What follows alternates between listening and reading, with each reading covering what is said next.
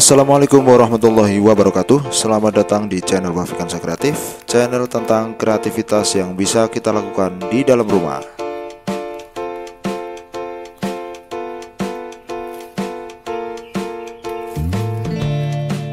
Dalam kesempatan kali ini Saya akan memberikan tips kepada Anda Bagaimana cara mengembalikan semen yang sudah menjadi batu agar bisa digunakan kembali. Biasanya, semen yang sudah membatu akan dibuang karena dianggap tidak bisa digunakan lagi. Nah, kali ini saya akan memberikan tips kepada Anda bagaimana cara mengembalikan semen yang sudah menjadi batu agar bisa digunakan kembali.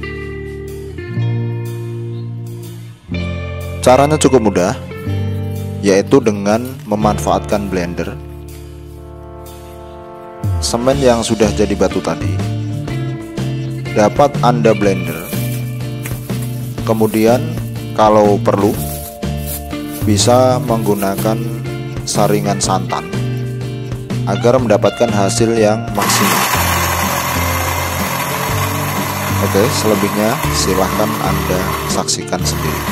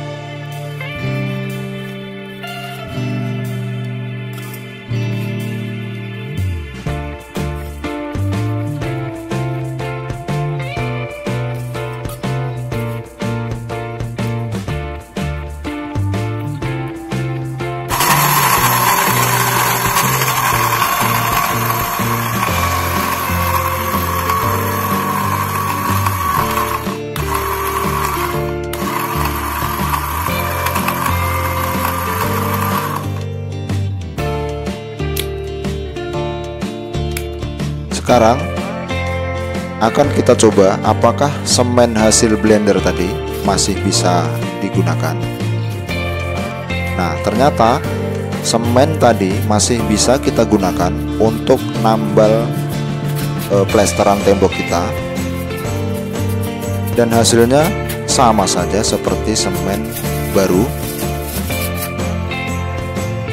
Hasilnya masih bagus sehingga Anda bisa mencoba sendiri di rumah. Cukup mudah bukan?